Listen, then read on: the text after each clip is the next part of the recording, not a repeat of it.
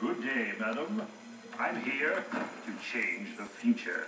Yes, sir? I must speak with the man in charge immediately. Yes, sir. I have an appointment with Destiny. Very good, sir.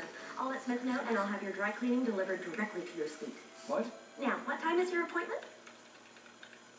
Uh, are you talking to me? Yes.